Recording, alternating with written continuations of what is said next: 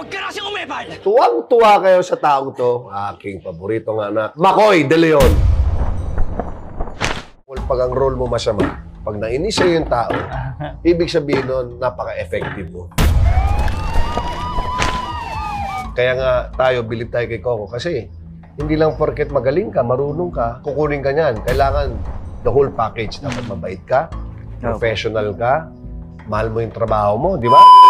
Mga best friends, nako, magandang araw sa inyo lahat. Napakagwapong araw ang araw natin ngayon. Dahil kasama ko ang aking mga kaibigan, aking mga kapatid sa industriya, mga co-workers, co- co-actors sa Batang Quiapo.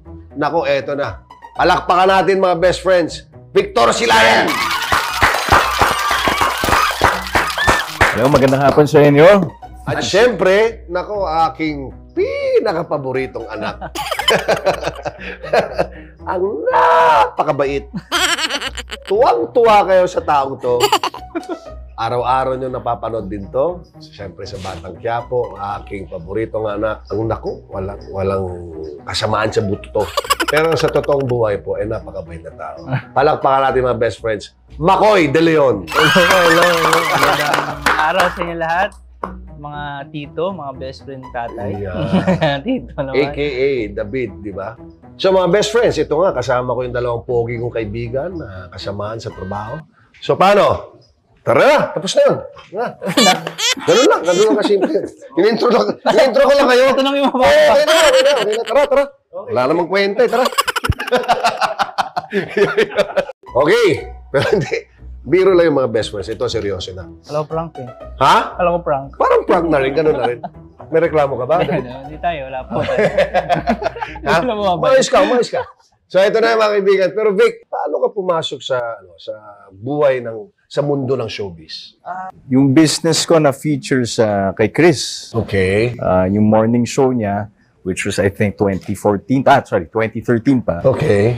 Tapos You mean Chris Aquino, no? Yes, Chris Yeah. Tapos after ng segment niya, one of the producers asked if I was interested in trying. So, sabi ko, okay, why not? Tapos, which led to the first movie, yung Love Affair, Okay. the Bea Alonzo, Don Zulueta, and uh, Richard Gomez.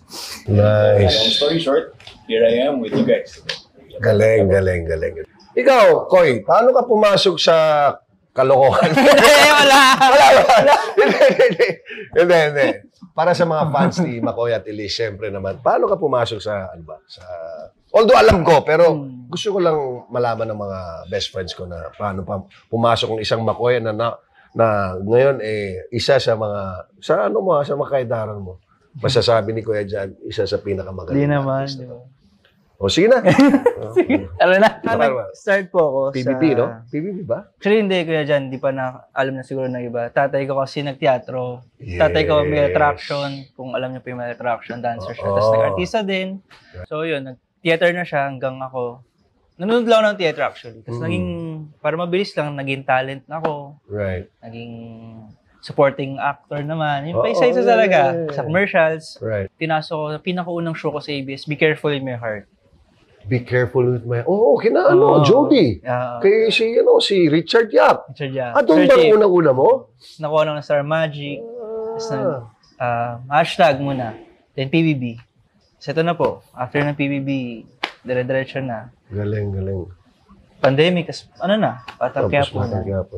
Well, speaking of commercials, mga best friends, si Victor Silayan, naku kung namumukha niya yan, di ba?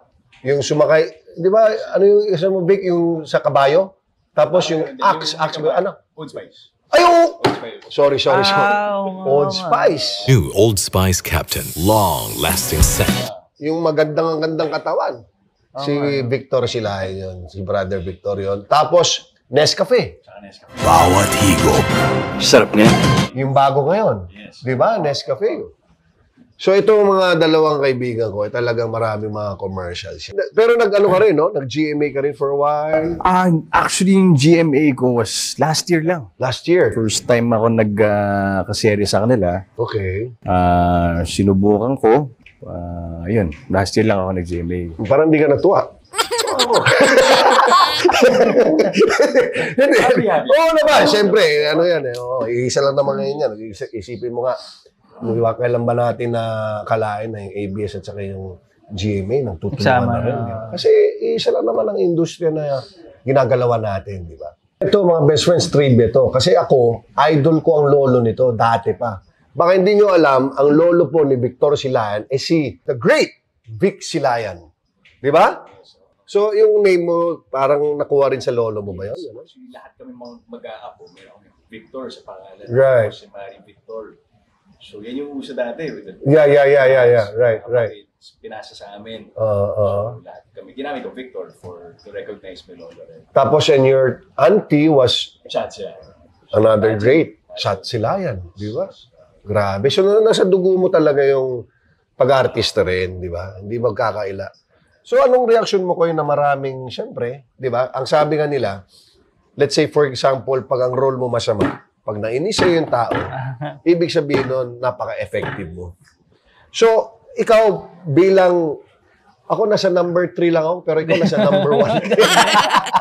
Hindi, hindi, pero pa- paano mo tinatanggap? Kasi syempre, mahirap din kasi uh, ang bata mo pa. Di ba? At saka hindi naman ikaw talaga yung totoong David. Alam naman nila na palabas lang yan, uma-acting ka lang. Pero ikaw ba nasasaktan ka minsan pag sinabi, Nako, David, nakakainis ka. Talagang, ang ano, mayabang mo. Ang ya-" Pero syempre, role lang naman yun, character lang yun. How are you taking that? Paano sa, sa personal mong, ano? Una, kuya dyan, di ko siya... Confused ako kung paano ko siya tatanggapin. Yeah, kung yeah. tama ba Yung talaga totoo, ginagawa ko. Kasi right, na, right. negative yung dating ng Hindi, tao. ta- kaya nga eh, kaya nga sinabi ni Kuya Jan, ganun ka ka-effective, ganun ka kagaling kasi naiinis talaga sa yung tao. Parang nadadala sila. Yung nga kuya dyan, actually, kung alam nyo lang, hindi Hmm. pa alam ng iba to.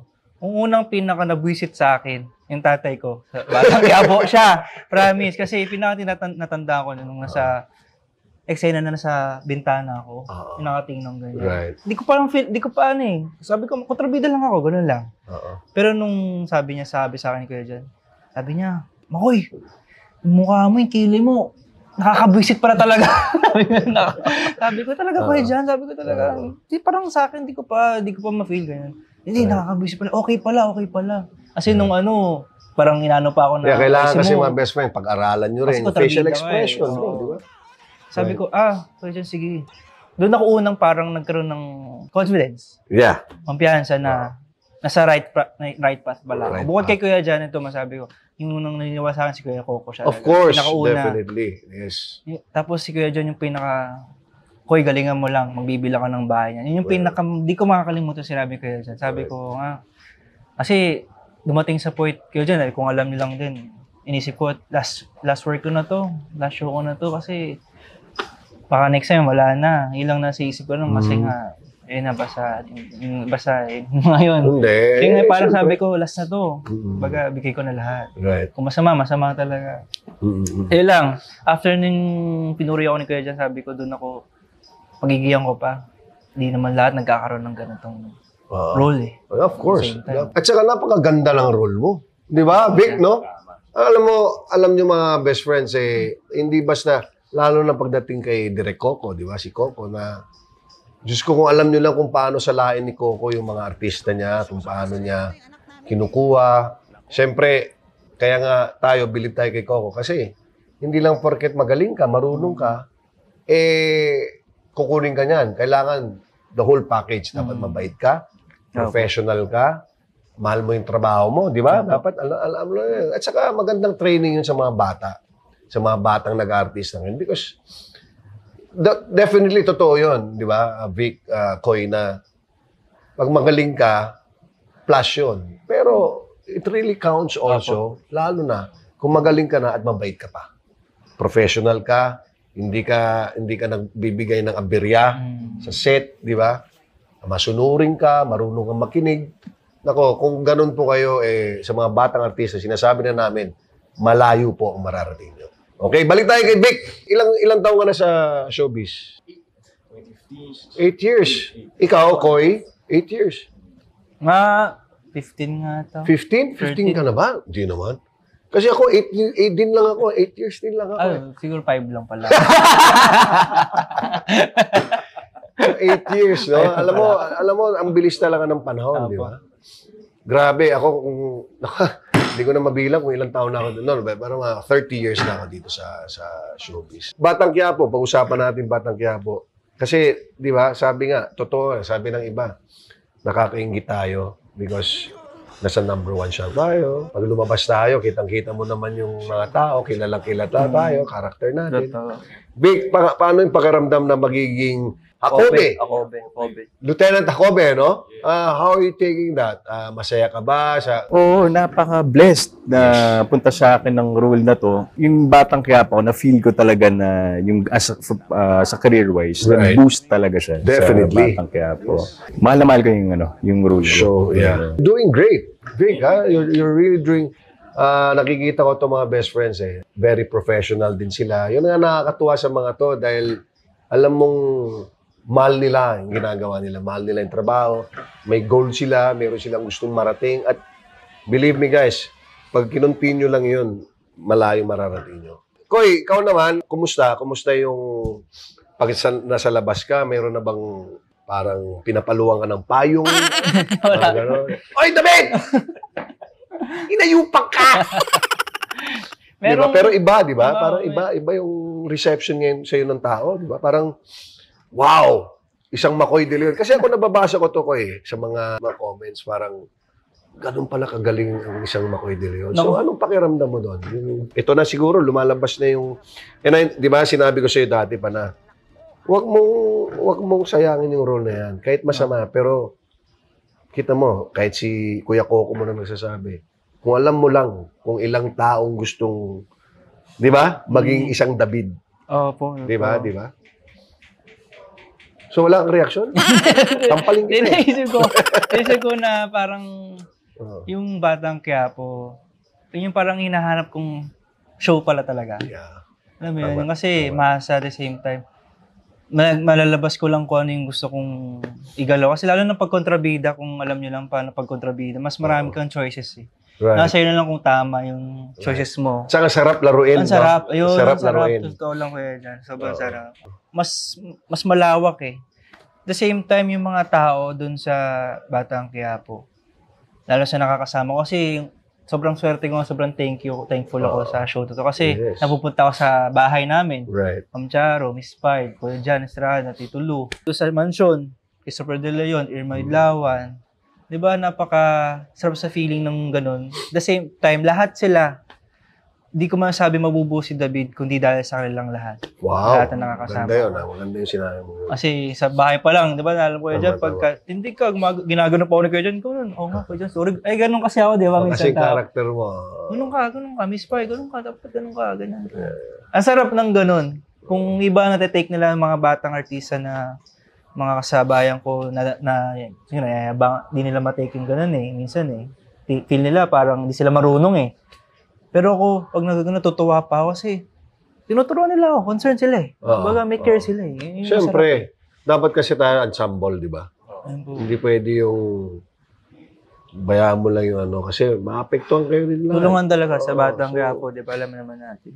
Pero maganda, maganda talaga yung grupo natin. Talagang buo. Hmm. Ika nga ni Coco, tuwang-tuwa nga si direct natin, di ba? Si Boss. Ang ating hari. Dahil nakikita niya yung effort talaga ng bawat isa. Di ba? So anyway, Vic, para alam ng tao, are you single? Are you married? I married. What? Married ka?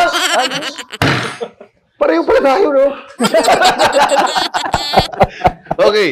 Uh, you're married with how many kids? Wala pa, trying. Ah, Julie. Newly. Two years na kami, magka second year, pero mahirap pala. Hindi, syempre, enjoying each other's company siguro. Parang, Pero we've been trying. Pero mahirap pala. Kung kailan yung nagpaplano, mas mahirap. pero ba yun? Siguro ang una mong gawin, tanggalin mo pantalon mo. Sige, baka subukan, subukan. Hindi mahirap yun, brother boy. Hindi naman mahirap yun. Tanggalin mo yung pan- pantalon mo. Tapos kung may shorts ka, di tanggalin mo yung shorts mo. So, but you're trying. I mean, darating yan, bro. Darating yan. Pero ano gusto mo, if ever? Boy or girl? Ano? Ang unang gusto originally, girl. Pero nung nakita ko na yung mga kaibigan ko na may mga anak na na girl na kinakwento na sa akin, kaya na. sige boy, na lang tayo. Yeah, I wish you all the best. Parang, I hope, I hope and pray na sana, di ba? Pero you don't mind kung darating kayo. Parang pag sinabi ni Mrs., I'm preg- we're pregnant. Very good, no? Tsaka yung age gap kasi, yung masyadong malaki. Tama, tama. Barkada pa rin. Tama, tama, tama, tama.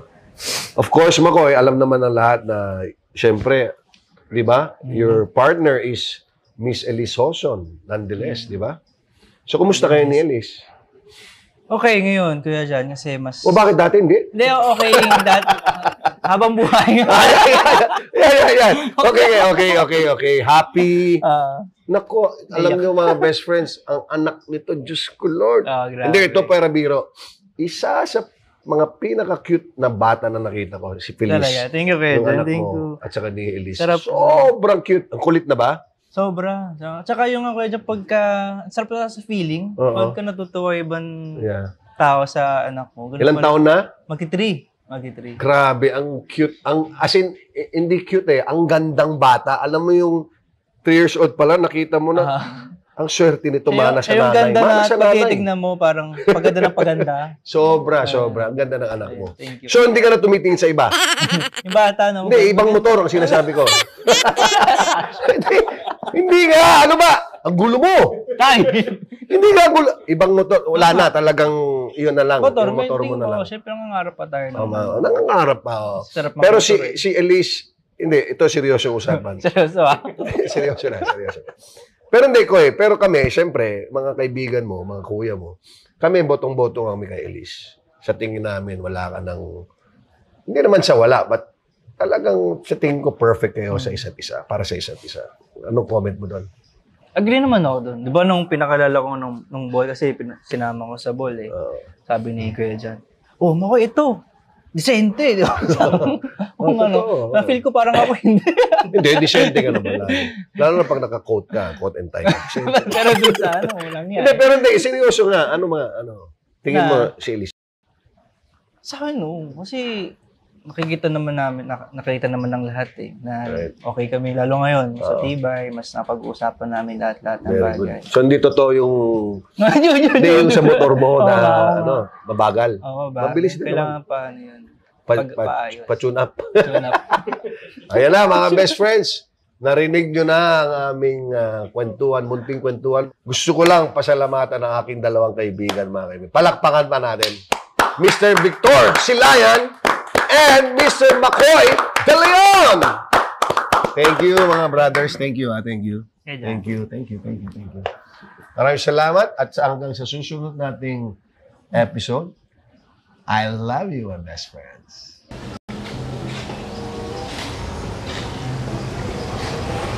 Hoy! Kuya Jan! Kuya Makoy! Kay Victor! Tatagal pa ba yan? Hindi, ito, pa- patapos na rin. Inaano na lang namin. Patapos na. Closing na. Hindi nga, ito na nga. Patapos na nga. Ano, magra-ride pa ba tayo? Ra-ride nga, ito na. Dala ko yung tricycle, 125. Kaya nga, ito, ito, ito na nga eh. Ano? Ito na, ito na. Tatayo na. Sige, sige. ah, boy, baka magalit pa yan. Akala ko pa mahaba pasensya mo. Malit yung pasensya ko. Kasing liit ko. Ah, ganun? O, sige, ito na, ito na. Sorry, sorry, Ayun Rex. na, huwag ka na magalit. Oh, nagagalit na eh. Tara na. Sige na, ito na.